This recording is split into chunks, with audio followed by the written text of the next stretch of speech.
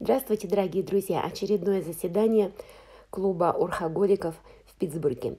И это заседание у нас было праздничным. Народ принес не только их цветущие орхидеи похвастаться, но и полюбопытствовать, что цветет у других. Продавались уцененные для членов клуба пуансеты с нашего ботанического сада, фаленопсисы без названия, в которых меня всегда удивляет цена. Они здесь не дешевые, и если в садовом центре то 20-25 долларов. И эти стоят столько же, от которых отказывается ботанический сад по причине их избытка там. За такую сумму я могу купить сортовой, видовой или природный, пусть он и маленький. Также руководство нашего клуба решило поздравить членов. Здесь на столе выставлены растения, которые каждый может взять себе, но, наверное, выбирать будем по старшинству. Кто состоит в клубе дольше, тот и выбирает первый. И так по очереди. Супер! Также по очереди народ брал слово и рассказывал о тех растениях, которые он принес. Это Тим пришел практически в новогоднем костюме, рассказывал про хабинарии, которыми занимается долгое время. Написал несколько статей в различные научные орхидейные журналы – и выводит регистрирует свои собственные гибриды. Я потом подойду к растениям, и мы рассмотрим их поближе. Вот здесь он показывает дендробиум и говорит, видите, у меня и другие орхидеи цветут, не только хабинарии и булбофилумы. Больше того, сколько знает Тим об орхидеях, в нашем клубе, наверное, не знает никто. И он определенно непревзойденный король булбофилумов – Человек больной, ими и к тому же заразный, откуда и у меня тоже заболевание. Вот его дендробиум парθениум, и, как всегда, это какие-то редкие орхидеи, которые не встретишь в каждой коллекции. Этот из лесов Борнео. Мне он понравился за то, что цветы у него довольно крупные по сравнению с растением. Это его хабинария выглядит просто как кустарник. И это тонкое искусство научиться выращивать хабинарии. Когда они, как катаситумы, вспадают в спячку, их перестаешь поливать. И так как они земляные орхидеи, то они размножаются клубеньками. Эти клубеньки спят в земле до весны и только потом прорастают снова. Эта хабинария называется Angel Bone или Кость ангела. Боже мой, ну и название он придумал. Этот гибрид он вывел и зарегистрировал еще 15 лет назад. Но если по-русски правильно сказать, то я бы его назвала «белая кость». Следующим выступал Дэвид, и он принес свою котлею Лоди Джези Ай, ароматную уроженку Бразилии или Аргентины, откуда-то оттуда. Очень популярная двухлистная котлея у многих в коллекции. Что у нее интересно, помимо ее аромата, это ее губа, которая похожа на колокольчик с рюшечками. Димитрия – вице-президент нашего клуба. Она принесла три орхидеи или четыре, рассказывает про свою аскоценду, дендробиум и еще один дендробиум. Сейчас я подойду поближе и покажу вам. Вот этот дендробиум называется мини-пинк, миниатюрный розовый. У меня есть миниатюрный фиолетовый, и что-то он у меня непродолжительно цвел в этом году. Я по нему готовлю отдельное видео, потому что на него напали щитовки, и расскажу, как я с ними боролась и победила. Моим оружием было средство, которое я приготовила из подручных средств, очень популярная в нашем клубе. Но об этом будет отдельный разговор. Очень популярный дендробиум во многих коллекциях называется дендробиум Precious Pearls – драгоценные жемчужины. Это из той серии, когда у дендробиума волосистые такие стебли, и ему не нужен зимний отдых. Он очень похож по уходу и цветению на мой дендробиум такахаши, но там меньше оранжевого.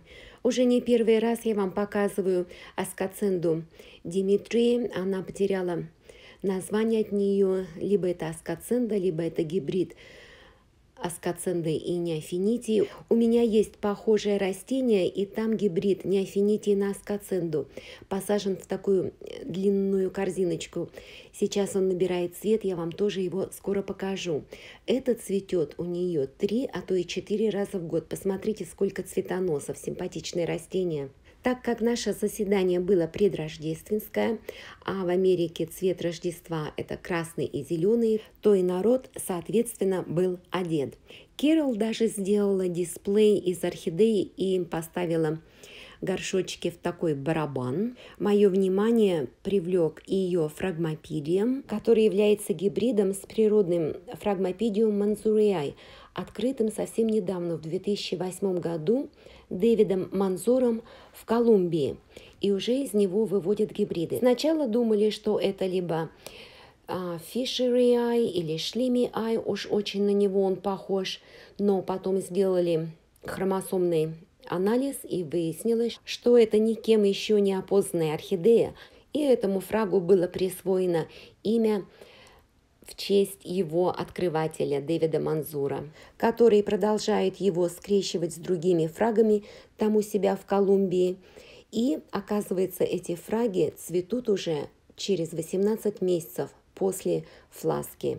Я не успела записать выступления многих наших участников группы, но вот эта дама, которая выращивает котлеи, принесла миниатюрную котлею, называется Little Fortune, что в переводе означает «маленькая удача».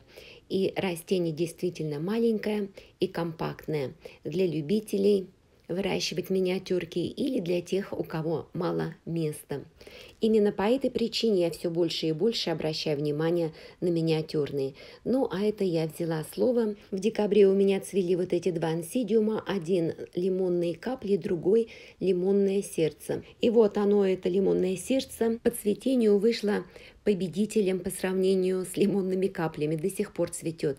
Ну, естественно, я принесла свой дендробиум нобели и свою ванду. Получила много комплиментов, какие крупные цветы в полном раскрытии у Робертс Дилайт и, естественно, рассказывала свою грустную историю о том, как она у меня упала и как отломался цветонос, и как бутоны прыгали по полу теплицы, издавая звук, который разрывал мое сердце. Но народ у нас сочувствующий, я принимала соболезнования, и в целом мою Ванду одобрили и сказали, что прогресс на лицо, теперь у нее два цветоноса, а не один, как в прошлом году. Ну, это снова мой безымянный Нобели, поближе и ансидиум лимонной капли, который процвел только три недели, чем и проиграл лимонному сердцу, который цветет уже пятую неделю, и моя Ванда, которая приехала вот в этом корыте, в котором она и поливается через день. Теперь поближе еще растения, я даже не знаю, кто их принес. Вот это маздивалия для вас, любители и любительницы маздивалий. Это Том Нассар, очень крупные цветы, но очень крупные. Я еще не поняла своего личного отношения к этому типу орхидеи. У меня есть одна, пока не цвела, но это мне очень понравилось за ее крупные цветы. Не люблю орхидеи с мелкими, но твинклы не считаются. А если честно, вот это растение, посмотрите, какой он огромный. Этот называется China Dragon или китайский дракон – ну, огромная туфелька, огромная. И посмотрите, как у него закручены лепестки слегка, а окраска. И цветы он выпускает один за другим, может цвести несколько месяцев. Мой маленький фраг дома цветет уже пять месяцев, один цветок за другим. Этот гибрид Гранде Набисей. Еще один красивый Фрагмопедиум кто-то принес. Вот этот называется кардинала или кардинал. Это гибрид шлемиая на сидониай. У меня есть оба его родителя. Но посмотрите, какая здесь округлая, упругая туфелька цвета розы. Взрослое растение, вон сколько много у него розеток. Представьте себе картину, когда несколько розеток цветут одновременно. И ухаживать за ними одна легкота. Поставил блюдце с водой, как я делаю, прекрасно растут. Кардинал может цвести два раза в год. И просто вызывающий, ароматный, до неприличия красивый зигопиталум. Вот этот называется Everspring или вечно весенний, как я переведу, и что-то там у него еще в имени есть. Но я вижу, что этот с наградами от ассоциации орхидеистов. Вот что мне нравится о них. Только рост выпустил, а тут уже и цветоносы, а уж потом будет себе бульбу наливать красивые крупные цветы. Кто-то привез вот этот красивый огромный дендробиум, очень высокий и с пышным цветением. И цветонос еще до конца не раскрытый, и он стоит в горшке, как бы для поддержки в двойном горшке, и называется Ариданг Blue Angel. Я люблю дендробиумы, и особенно я неравнодушна к дендробиум с цветами, которые как я говорю, светится изнутри, вот просто с подсветкой. И этот один из них. В нашем ботаническом саду есть похожий дендробиум, называется Соня, но там Соня малиновая. А эта котлея очень известная, называется Нэнси Офф. Вот это крупная котлея с высокими псевдобульбами. Ну, отсюда и крупные цветы, Гибрид, выведенный давно мистером Уалдером. Сейчас его внук продолжает традиции в штате Нью-Джерси. А этот гибрид называется Royce Magic. Один из ее родителей – это Burana Beauty, которая цветет таким пышным кустиком, много-много цветов на цветоносе. Может быть, не таких и крупных, но в таком букете они смотрятся волшебно. Второй родитель, по-моему, Tokyo Magic. Но ну, так как заседание у нас было праздничным, предновогодним, каждый принес какое-то блюдо, какие-то вкусности, был накрыт стол, и можно было подходить, набирать себе еды и слушать лекцию Дэвида Миллера о террариумах, как выращивать орхидеи в аквариумах, в стекле, как особенно удобно это для бульбофилумов или для маздевали или для других растений, которым требуется высокая влажность, и что поливать можно только два раза в месяц. Оно, конечно, хорошо, но может быть для мелких растений. Большому растению нужен большой аквариум.